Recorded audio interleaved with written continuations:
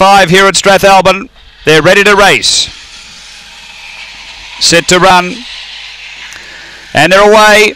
And there's speed here from Hot Arabina is going to drive through and lead. Back up Tiger to second and a length and a half. Optic Angel.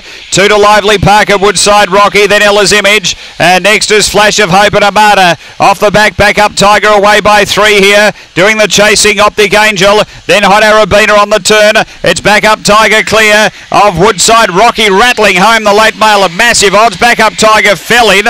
Woodside Rocky charged home for second. Then Hot Arabina Amada and then Optic Angel from Ella's Image and Flash of Hope. The run here is around 24.40. After the uh, running of race number five and uh, back up Tiger.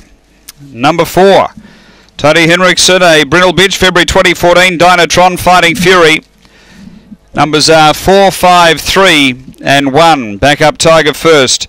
Second to five, Woodside Rocky, Graham Smith, the Blue Dog, April 2014, Fearsophonic, Quicksilver Blues. And three Hot Arabina, Angela Mamitas, a Black Bitch, November 2014, Ivan Brown Surfing Blonde. 4531, race five at Strathalbyn.